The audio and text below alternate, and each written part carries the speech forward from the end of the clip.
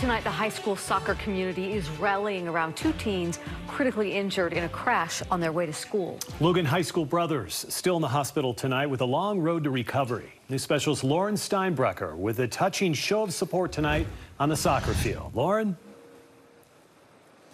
Yeah, Mike and Deanie. So the Logan High School soccer team, that team manager was the older brother involved in that crash. And knowing that the team players would have to come together a day later and play in a soccer game, their rival team decided to do something to help. Players posed together before kickoff, casting aside competition for compassion.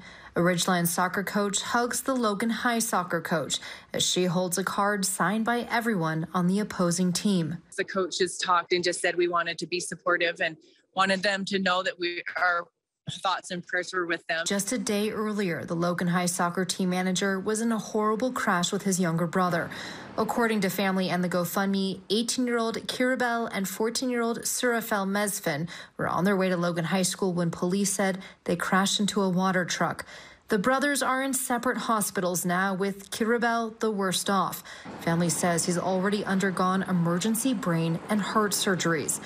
Knowing Kirabel's team was playing without him there, Ridgeline quickly rallied. The whole team came together and they made their post and sent it out to all of their um, teammates and, you know, or just every, all their friends.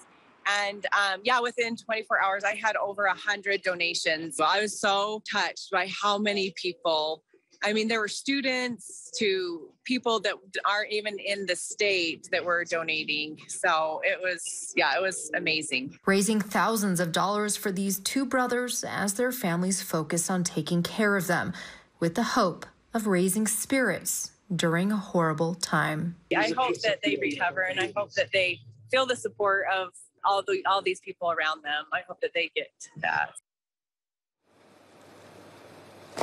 Yeah, that team raised $4,500 in less than 24 hours, which will be a huge help to the family because they have to divide their time between hospitals in Ogden and Salt Lake City, plus other expenses that come along with that. And Laura, that team mom, says those donations are still pouring in tonight.